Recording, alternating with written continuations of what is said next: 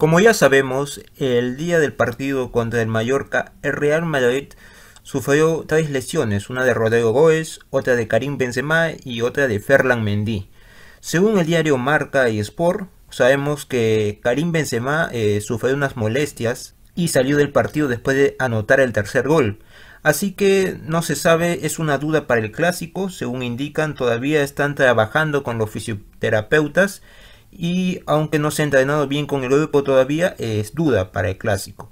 Bueno, esto sería una baja muy sensible, la verdad, ya que Karim Benzema después de los goles frente al PSG, de los goles frente al Mallorca, está convirtiéndose, es el goleador de la liga y está convirtiéndose en el, mejor jugador si es posible, no es el mejor jugador sin duda, diré, de Real Madrid junto a Vinicius Junior. Esto quiere decir que, bueno, eh, la chavineta se va a salvar en caso de que Karim Benzema no juegue. Pero estoy seguro que arriesgará Carlo Ancelotti, ¿no?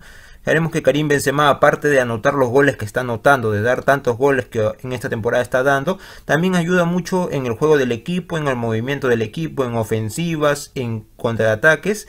Y bueno, esto ayuda mucho al equipo. ¿no? Sabemos que ahorita el Barcelona está en un buen momento porque están ganando, están ganando sus partidos.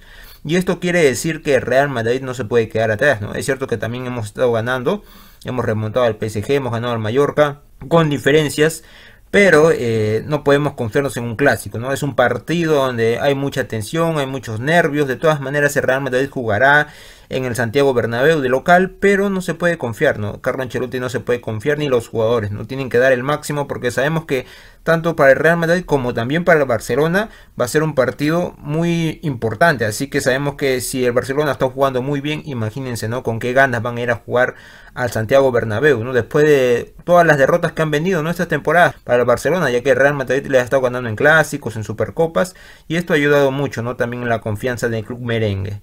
Bueno, lo de Benzema, esperemos, ¿no? Que no sea grave, sobre todo se tiene que arriesgar ahorita con Benzema, se verá si el viernes, ¿no? Se confirmará el viernes eh, si su lesión es grave. También el chiringuito ha dejado entender en Twitter que, bueno, el viernes se hará conocer que no ha sido, no es tan grave, pero todavía tiene molestias y se, está trabajando todavía en su lesión, ¿no? Entonces, eh, bueno, se espera que pueda estar en el partido. También, eh, como digo, el día Marca y el Sport también lo han confirmado.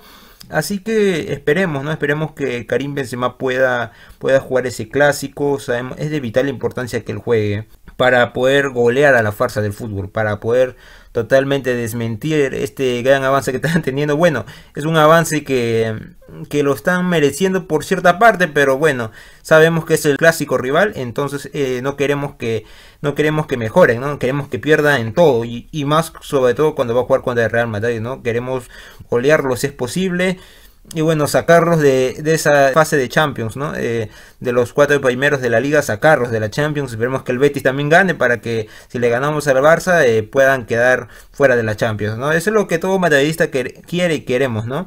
Pero bueno, esperemos que Benzema, como digo, esperemos que esté. Y también que no sea grave, ¿no? Porque también luego hay más partidos, la liga y sabemos que Benzema ahorita no tiene un reemplazante, ¿no? Porque, por ejemplo, Luka eh, no tiene la confianza, estoy seguro que no tiene la confianza ya para jugar tantos minutos con el Real Madrid. Mariano Díaz peor todavía, que está olvidado. Y bueno, Gareth Bale dicen que, bueno, su confianza de él es propia, ¿no? Ya sabemos que él, aunque no cuenten con él, tiene mucha confianza en sí mismo, juega bien cuando quiere y bueno, dicen por ahí, o sea, estoy rumoreando que, que puede que juegue, ¿no? Que en caso de que Karim Benzema no juegue, juegue él de, de delantero 9. Pero bueno, lo dudo mucho que Carlo Ancelotti arriesgue de esa manera con el galés. Así que bueno, para mí va a arriesgar un poco con lo de Benzema. Estoy seguro que no va a ser grave y el viernes ya podremos saber ¿no? el alcance de su lesión. Bueno, y la otra noticia es la baja de Ferland Mendy, que esta baja sí está confirmada, ¿no? Ya que el lateral izquierdo tiene una lesión en el aductor de la pierna izquierda, por lo que será baja entre 10 y 15 días. Esto ya, bueno, sentencia ese, ese lado izquierdo, ¿no? Para Carlo Ancelotti, porque sabemos que Ferland Mendy tampoco tiene un reemplazante más acto, ¿no? Hacia el nivel como él es o sea, más defensivo. Sabemos que también ahí puede jugar Marcelo. Es cierto que Marcelo eh, juega bien ofensivamente, pero defensivamente ha dejado muchas dudas ¿no? durante las últimas temporadas.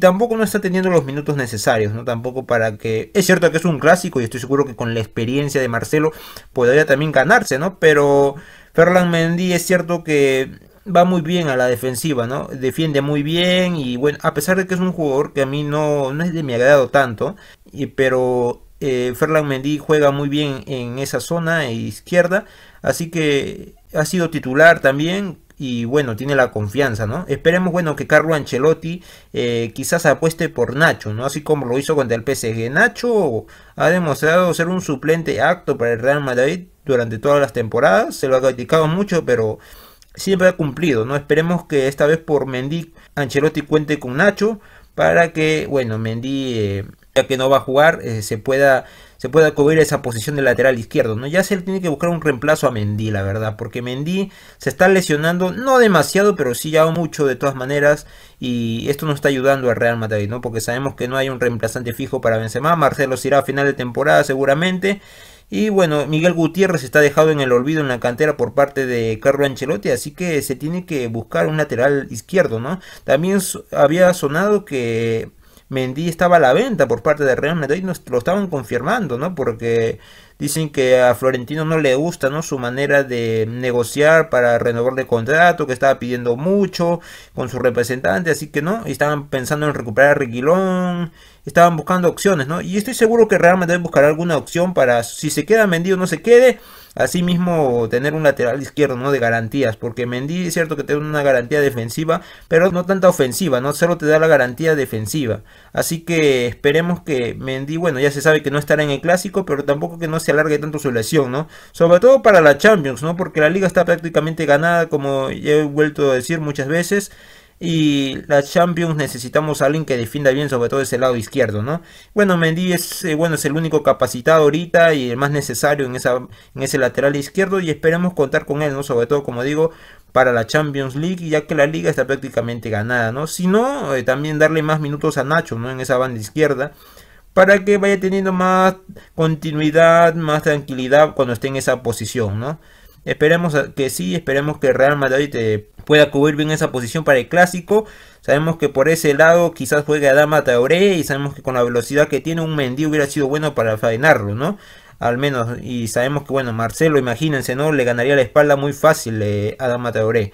Entonces, hay quien tendría que jugar sería eh, Ferland Mendy, ¿no? Para bloquear ese, ese lado izquierdo y para que el Barça no tenga oportunidades de hacer ni siquiera un gol, ¿no? Esperamos que no tenga ni una oportunidad, pero es cierto que es muy complicado, pero el Real Madrid viene ganándole y ganándole años ya, bueno, ya algunas temporadas ya seguidas eh, a, la farsa del fútbol, así que vamos vamos a ello, vamos a ganar este clásico y esperemos que estos ambos jugadores, tanto Benzema como Mendy, se puedan recuperar muy pronto.